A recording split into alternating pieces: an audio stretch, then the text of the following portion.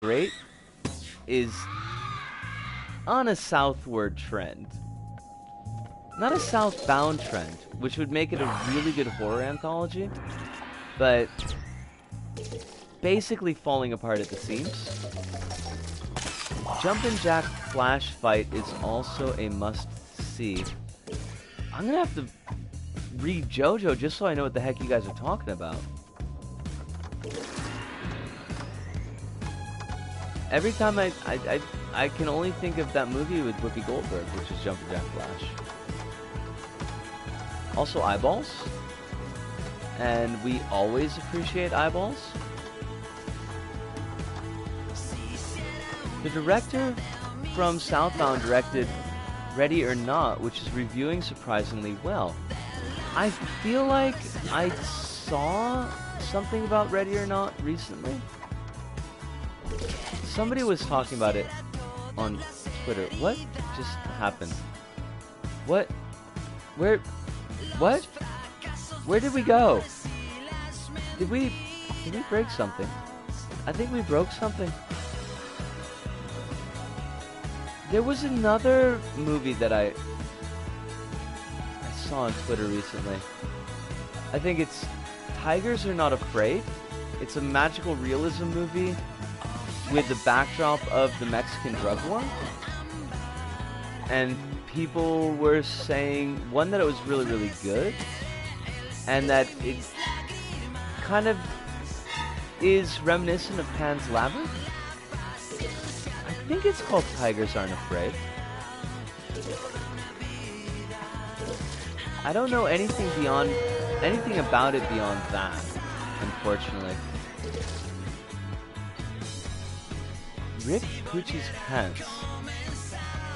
Talking about part 6 like this makes me realize how much I actually like the cast overall. Hmm. The JoJo the million part JoJo. I guess I could...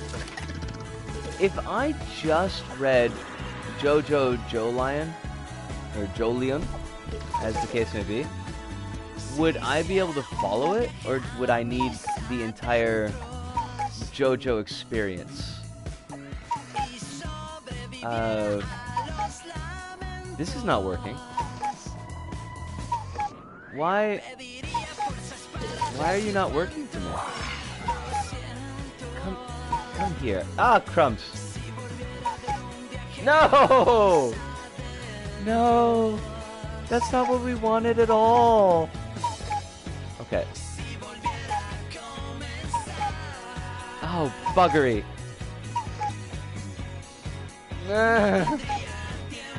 yes. I don't think we were supposed to deal with it the way that we did, but I mean, that works. That doesn't work. What? No! Why is it always the last level? Why does this always happen? Please.